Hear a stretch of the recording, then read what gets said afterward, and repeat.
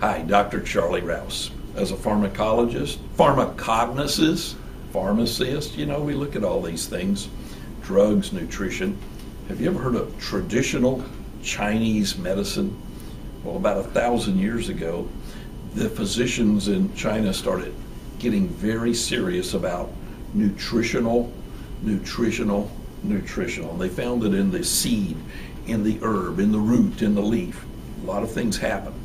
And as a such, they, they looked at all the different flowers that were in the world, thousands of flowers, and they began to narrow it down and they found that seven specific flowers were great for blood pressure control.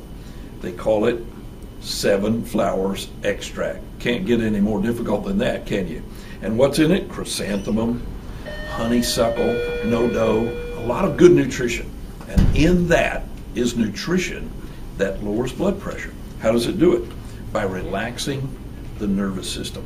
Whenever that old hose that gets stiff and bent out of shape becomes unmanageable, putting nutrition back into the system relaxes the, the blood vessel. Blood pressure goes down, systolic, diastolic. Can you take seven flowers extract if you already take prescription drugs? Absolutely. They mix fine, they go together. What's going to happen when you take seven flowers? You're going to sleep better than you've had a good night's sleep in a long time. And you're going to find yourself more relaxed during the day. But the blood pressure will love you for it. Seven flower extract. It's a traditional Chinese medicine nutrition, and it's been around for at least a thousand years. Very safe and very effective.